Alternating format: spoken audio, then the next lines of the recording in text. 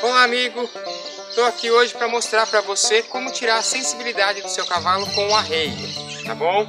Então vou mostrar para você como eu trabalho aqui no meu centro para tirar a sensibilidade aí do cavalo, simular algumas coisas, né?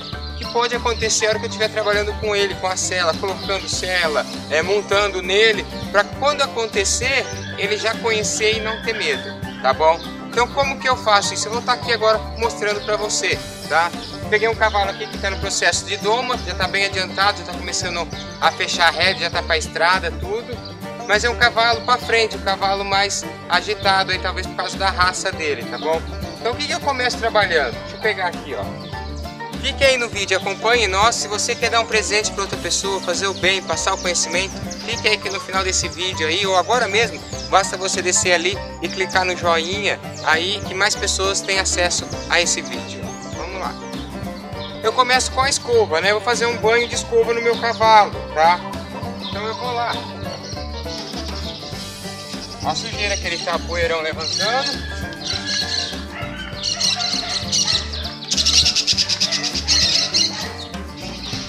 Então eu vou na própria escova, eu já procuro tirar sensibilidade de perna, de barriga, vou lá nas virilhas brincar com ele. Quer dizer, tento tirar o máximo possível que eu conseguir sensibilidade, onde minha mão consegue chegar com a raspadeira, eu vou, e dos dois lados, né?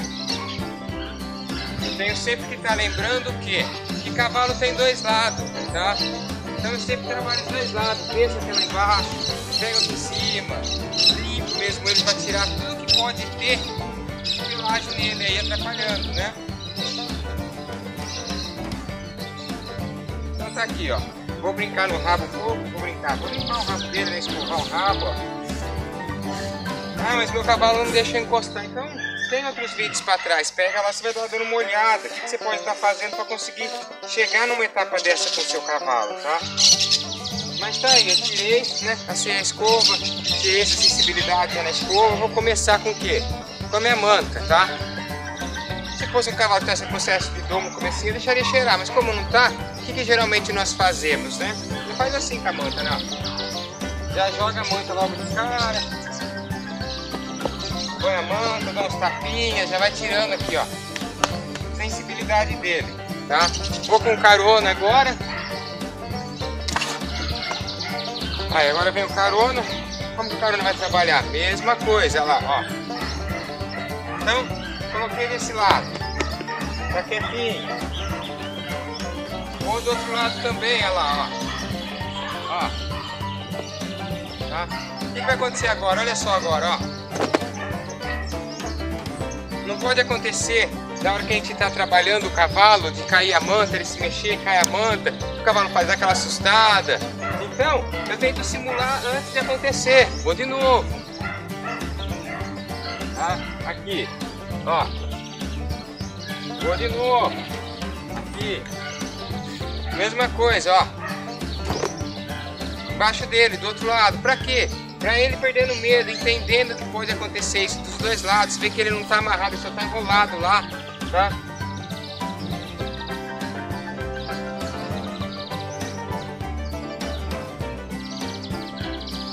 Ah, eu já joguei de qualquer jeito agora. Agora eu vou arrumar porque eu vou pôr a cela, tá?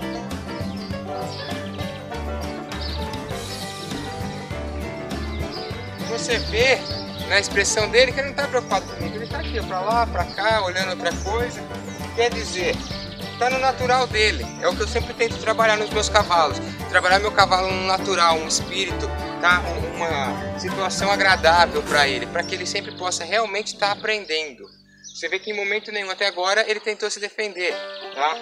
Então é, é coisa que a gente não pode esperar acontecer para ver o que faz. Nós temos que simular antes, tá? Isso é tirar a sensibilidade do cavalo, isso é fazer cavalos bons de sela, tá? Eu vou lá, ó. Agora eu vou com a sela, mesma coisa. Ó. Você vê que a sela eu já fiz diferente, eu joguei, mas eu não deixei bater de uma vez, né? Na serilha dele aqui no ombro dele. Por quê?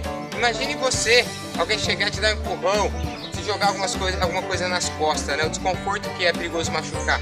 Mesma coisa o cavalo. Se toda vez que eu chegar nele, né? E catar o arreio aqui, ó, fizer assim, ó.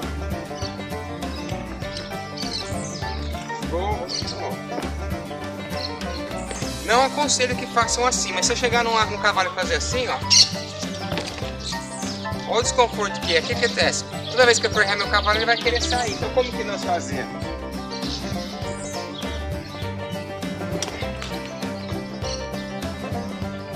Então tá aqui, como que eu faço? Ó? Eu levo ele lá em cima e seguro para descer. Coloco a sela. Eu não jogo a sela no meu cavalo. Por quê?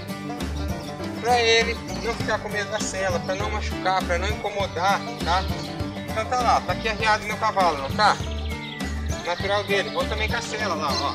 Vou tentar segurar a manta, vai ter tudo, ó. Vamos, vai estragar a sela. Prefiro que estrague a sela agora, na hora que eu tô treinando, do que que me estrague a sela na hora que eu estiver indo para um passeio, hora que acontecer isso no meio de outras pessoas e meu cavalo assustar e sair estourando, machucando as pessoas. Então isso é uma das coisas que tira a sensibilidade do cavalo, tá? Vou de novo, ó. Agora eu vou abusar do cavalo. Então puxar por baixo. Vamos de novo para cima. Vamos de novo para cima, outra vez. Vamos lá. Coloquei a cela de novo. Vou de novo. O que que acontece? Ah, você põe, tira 10, 20 vezes, 30 vezes, porque o cavalo está quieto, porque ele está aprendendo. Quando o animal está na, na, fase de aprender, ele tem que estar tá aberto a tudo as situações, tá? Então não é nada fora do comum a cela cair para ele, ou ensinar a cela cair, porque ele está aprendendo, ele está com vontade de aprender, tá? Então eu venho aqui agora, ó. Mesma coisa de novo, ó. Caiu de novo embaixo dele. Vai de novo, ó. Cela pro lombo. Entendeu? Você tá vendo? Quantas vezes já tirei e pus a cela nesse pequeno tempo de, espaço de hora, né? Então é, é, bem curtinho o tempo que eu perco para trabalhar realmente o cavalo, para tirar realmente a sensibilidade. Vai de novo, cela pro lombo. Tá? Então, olha lá, o que, que acontece? Muitas vezes nós acabamos vendo aí, às vezes eu posto algum vídeo, o pessoal acha que é, nossa, mas como que consegue fazer isso? Nossa, mas como que é? Não é milagre, tá? É o trabalho, é o trabalho. Derruba, põe, derruba, põe, derruba, põe. Vai um, dois, três, quatro dias.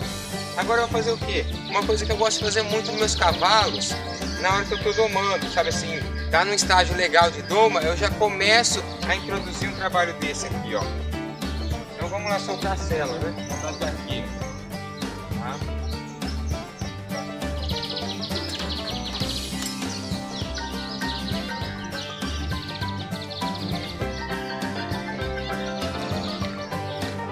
A barrigueira, vamos prender a barrigueira. Ah, mas você prende primeiro de trás? Não me importa, porque de trás é só encosto, né? Não é uma barrigueira que eu vou apertar. Tá?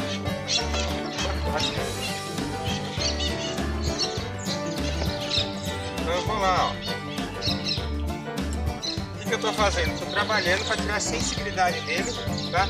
Com a cela. O que vai fazer agora? Fica bem.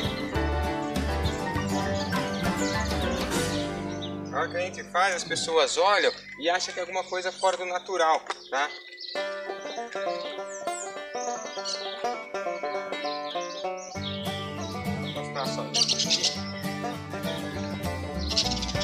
Vamos pegar uma cordinha para auxiliar aqui, ó. Tem uma.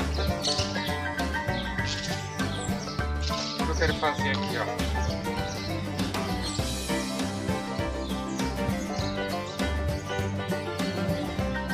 Aqui, ó, vou fazer o que agora? Vou prender para não atrapalhar, para não quebrar, para não machucar, tá?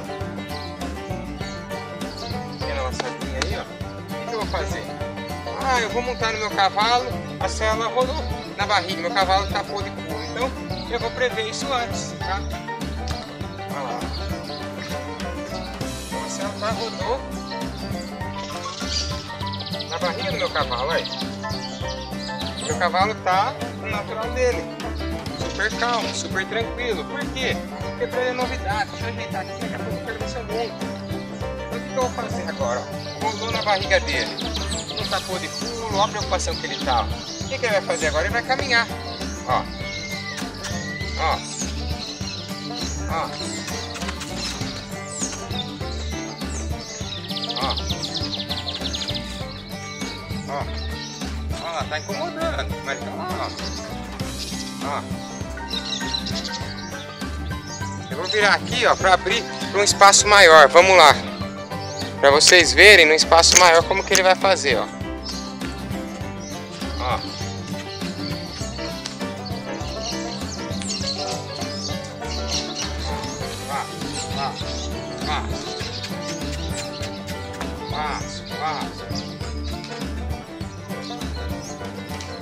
preocupação dele que ele tá, ó. A preocupação que ele tá, ó.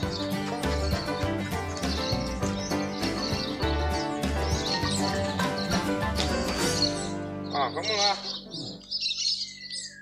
Agora eu vou brincar com ele um pouquinho. Quer brincadeira um pouquinho com ele?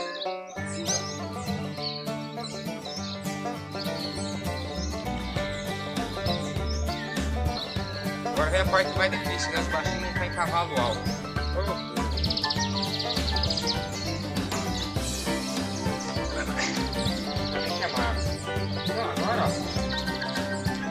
Tá vendo,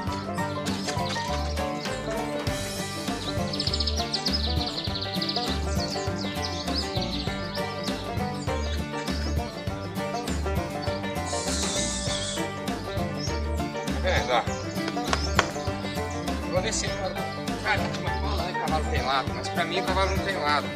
Então o que, que eu fiz aqui? Eu mostrei pra ele que isso daqui não tem problema, não tem perigo, pode ficar tranquilo, é normal acontecer. Do arreio virar, tá vendo? Não vai estranhar. Aí o arreio virou, tá aqui na barriga, né? Vamos tirar o arreio agora, olha só. Tirar o arreio da barriga dele agora. E aí vai para aquela situação, né, que sofremos antes, ó. Tá solto o cavalo, tá vendo? A preocupação que ele tá comigo, a preocupação que ele tá, quer dizer, essas coisas são o que faz o meu cavalo realmente ficar manso, são as coisas que faz com que o meu cavalo confie em mim. Você sabe qual que é o maior inimigo do cavalo? O maior inimigo do cavalo tá aqui, ó. Esse daqui, ó. É as minhas mãos. Por quê? A maneira que eu chego nele, tá? A minha mão pode chegar para fazer um carinho e pode chegar para bater, né? Pode chegar para bater. Então, o, o, meu cavalo responde de acordo com que eu converso com ele, de acordo com que eu transmito a minha comunicação com ele. Então, se eu sei que a minha mão pertence a maior porcentagem de comunicação com o meu cavalo, e se ela chegar devagar, meu cavalo responde lento. Se ela chegar agressiva, meu cavalo responde agressiva, como que eu vou trabalhar? Se eu quero ter o meu cavalo um cavalo calmo, um cavalo manso, que aceite que situações como esta aconteça e ele não saia se estranhando, é esse tipo de trabalho que eu tenho que ter, tá? E eu vou mostrar mais uma coisa ainda, ó. Não faço, sempre tá na minha certa. Vou de novo. Aí, arreia pro lombo de novo, né?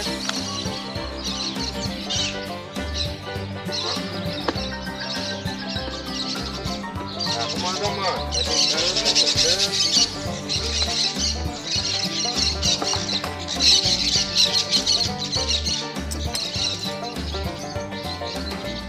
Às vezes a gente fala, nossa, mas faz tudo isso, meu cavalo não deixa nem montar, né? Meu animal é um animal que não deixa nem eu pôr o pé na cela, no estribo, coisa e tal. Então como que eu faço um teste para ver se a pessoa realmente é prática para montar, sabe montar? Olha as barrigueiras soltas, tá? Agora, ó. Vou meu arranjo aqui, ó.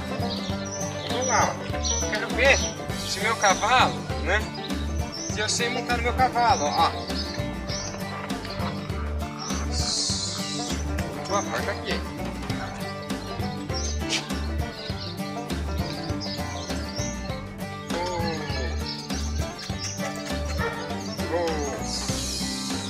Olha aqui, ó.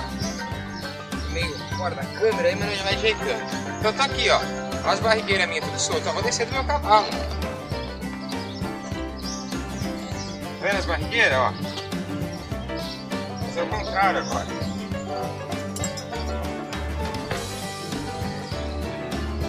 Tá vendo? Eu vou até mudar um pouquinho a posição da câmera aqui pra ficar melhor pra vocês verem, ó.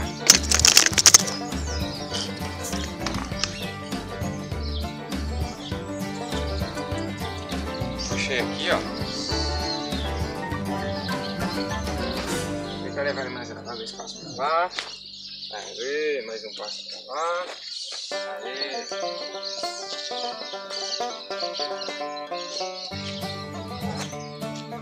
Vamos estar no meu cavalo. Você vê que as barrigueiras, ó, tudo aqui em cima, ó. Tá? Aqui as barrigueiras lá em cima. Então, o que, é teste que eu gosto de fazer nos meus cavalos? Isso daqui, ó. Eu quero ele solto, no natural dele, deixar eu montar dos dois lados. E aí vem lá, ó. Tem. Tá vendo? Não arrende.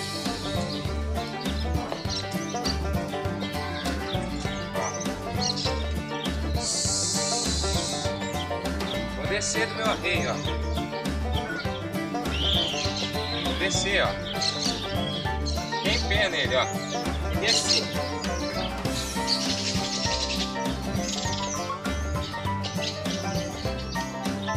Em nenhum momento, os...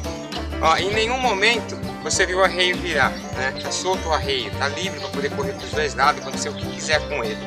O que que acontece? Por que, que o meu arreio solto não vira? Ah, ele tem um bom encaixe, o cavalo tá magro, é? Não, tá? O segredo de eu conseguir montar no meu cavalo assim é a maneira que eu monto no meu cavalo. Então o que acontece? Quando eu tenho essa habilidade de montar no cavalo com as, sem barreira, né? O meu, eu não estou judiando do meu cavalo para subir, então eu não estou puxando meu cavalo para cima de mim, eu não estou pendurado no, no, meu cavalo de lado, quer dizer, a sela pegando aqui no lombo dele, na serilha dele e pesando, machucando. Essas coisas vão evitando que o meu cavalo fique um cavalo ruim de ser montado, tá? Então, ó, olha só como que já estamos, né?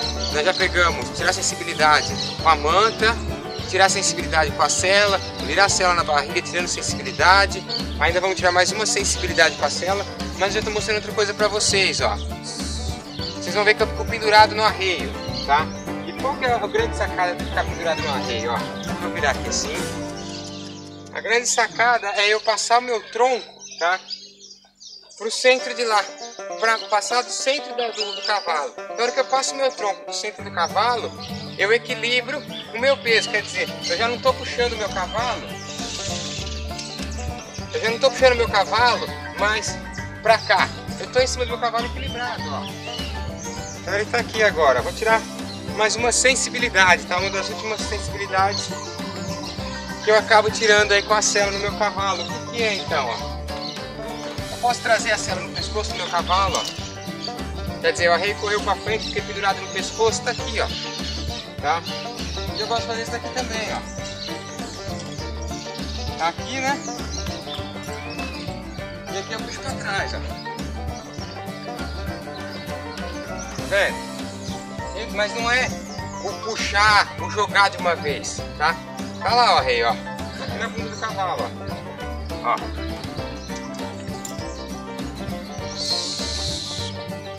vendo onde o arreio tá aqui? E agora eu vou tirar o arreio. Por trás do meu cavalo. Quer dizer, eu sempre estou o quê? Ensinando ele.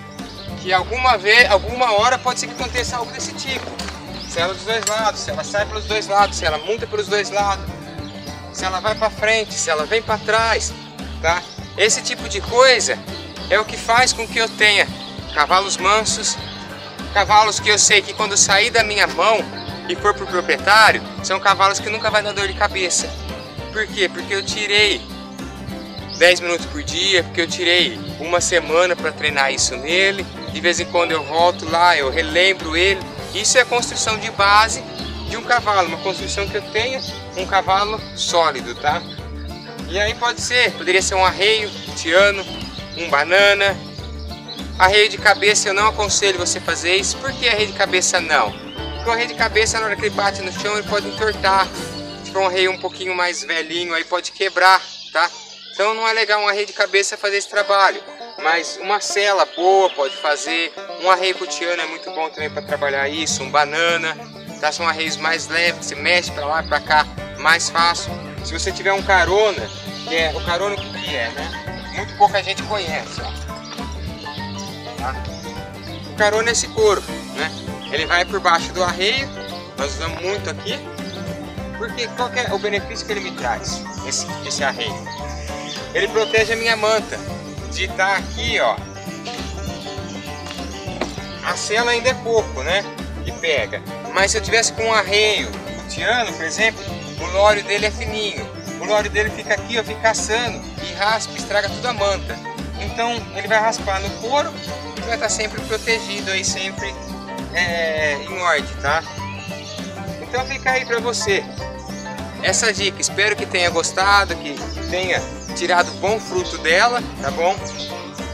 E lembra que eu falei para você no começo, né? Que você podia dar um presente para alguém. O presente é, clique aí, deixe seu, link, seu like aí, né? Que eu não sei nem falar direito, mas deixe seu like no joinha. Clique no sininho para você se inscrever no canal e toda semana nós estamos colocando de dois a três vídeos e você vai estar sempre por dentro aí de coisas boas como essa, um simples trabalho aí, mas que te rende um fruto muito grande e você deixa cavalos com alta qualidade aí de mansidão, tá bom? Até uma próxima!